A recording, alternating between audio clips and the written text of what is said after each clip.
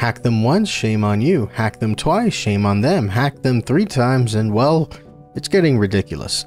The Internet Archive has been breached yet again by the same threat actor. That's twice for them and technically a hacking from a different threat actor in a different time. Today, we're facing an unprecedented array of data breaches, hacking attempts, and surges in digital crime. Why is there such a widespread amount, and how little is noticed in our everyday lives? Malware, dark sites, brute forcing, zero days, script kiddies, and nation state hackers are all on the rise. Learn more about the threats we face and gain a bit more knowledge than yesterday. Hey everyone, another episode of Exploit Brokers is coming to you now. Hey guys, if you could do me a favor because it would mean the world to me and help the channel out, if you're on YouTube, if you could please smash that like, subscribe, and bell notification icon. If you're listening to this on Spotify or Apple Podcast, if you could please give us a follow and a review, that would help us out tons. With that out of the way, let's get into it. In an article by Bleeping Computer, Internet Archive breached again through stolen access tokens. And before we even jump into the article, what is an access token for some of my viewers or listeners who haven't necessarily come across access tokens before?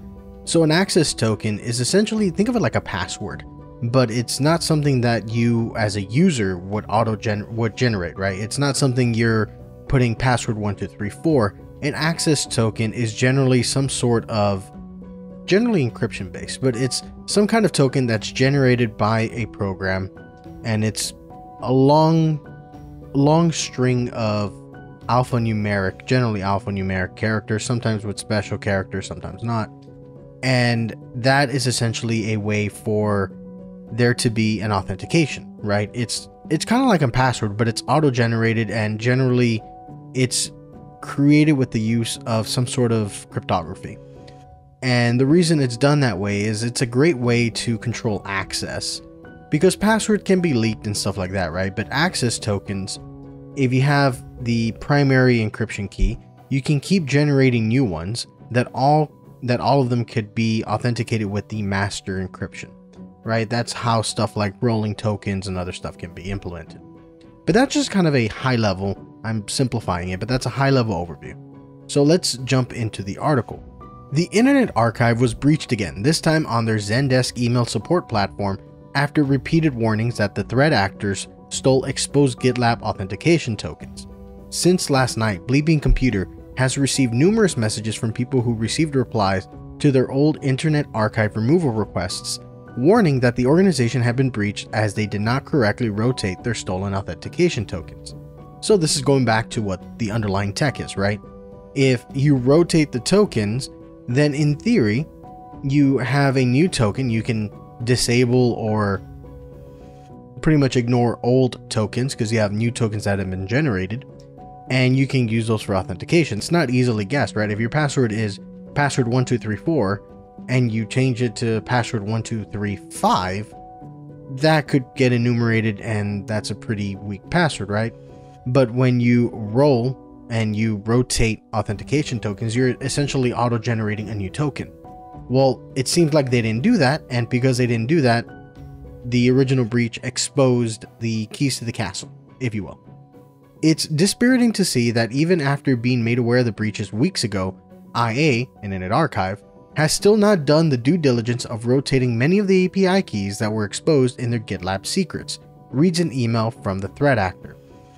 As demonstrated by this message, this includes a Zendesk token with perms to access 800,000 support tickets sent to info at archive.org since 2018.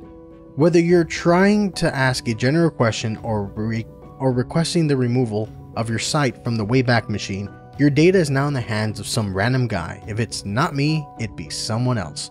So, when you're talking about GitLab secrets and just GitLab uh, tokens and stuff, the original breach that happened, to the best of my knowledge, they stole source code.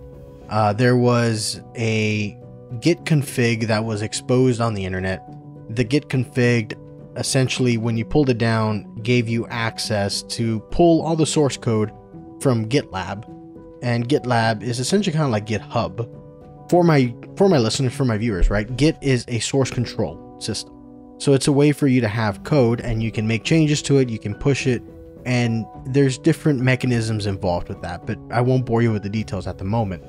But suffice it to say, you have Git and you have GitHub, GitLab, and there's different ways for you to kind of roll your own. Well, because of that, the git config has enough information in it that it would allow you to authenticate a GitLab. Because you're authenticated, you can pull down the source code. A lot of developers, a lot of programs, and it's it's very bad. It's very bad to do it, but a lot of developers will put stuff in their source code, like tokens, API keys, passwords, and stuff like that. That's a very bad practice. And they were able to take down the source. Now, the API keys, it's saying GitLab secrets. If this is similar to AWS secrets, then AWS secrets is another mechanism that whenever you run in an environment, you're able to request the secrets, in this case passwords, API keys, from some sort of store that is somewhere. And the benefit to that is that your source code no longer has to contain the hard coded strings or the API keys, right? You can call a service, authenticate with it via some identity mechanism, whether that's, you know, an IAM role in AWS or one one API key or some kind of a password that's stored somewhere. So that's kind of where you get to, right? There's only so many layers layers of security you can do before eventually you need some kind of identification system that either gets baked in via a pipeline building and deployment or sometimes even in source, and that's where a lot of the issues come from. But suffices to say, there was a Zendesk token that let them access to it. And the problem with that is Zendesk is their support system. It holds a lot of stuff. Uh, everything from the support tickets from removal requests to any identification stuff that was sent over by somebody. And that's actually where some of the article goes into. The email headers in these emails also pass all DKIM, DMARCK or DMARC, and SPF authentication checks proving they were sent by an authorized Zendesk server at 192.161.151.10.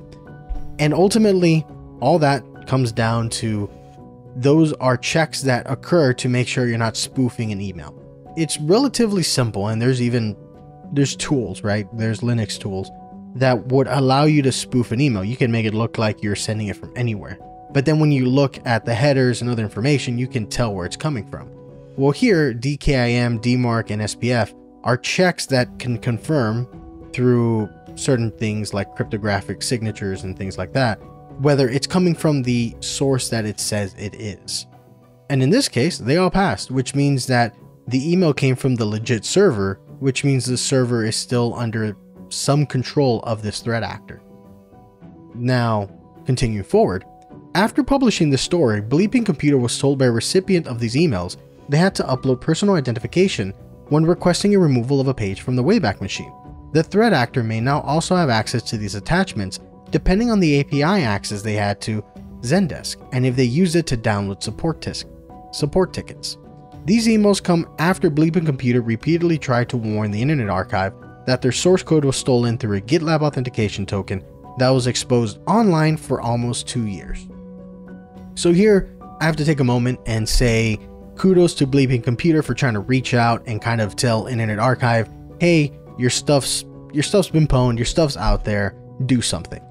Because, well, it's it's kind of hard, right? If a person knows that there's some information, do they have the call it mental bandwidth to go track down who to talk to, who to send an email to, because you could always send it to a support, right? But if they're reaching out and they were re- repeatedly reaching out, from what I'm understanding, then that's good on them.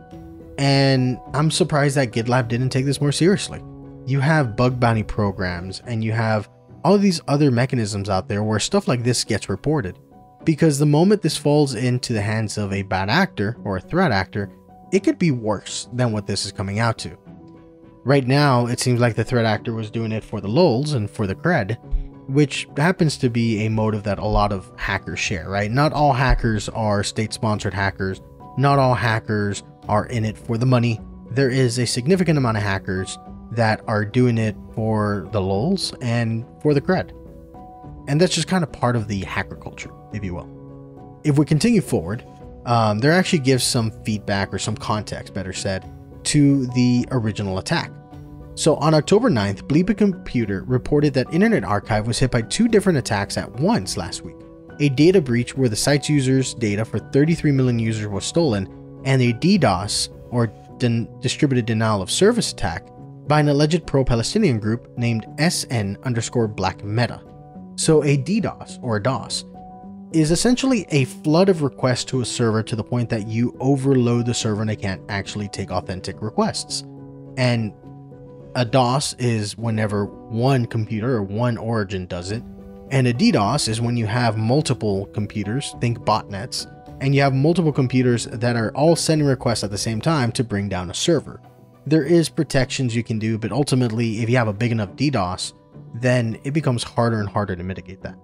Well, that was done by a pro-Palestinian group named SN underscore Black Meta, and there was some initial confusion where it was thought that they were the ones doing the breach, but turns out that was just kind of bad timing on the part of SN Black Meta because they were doing a DDoS at the same time there was a data breach.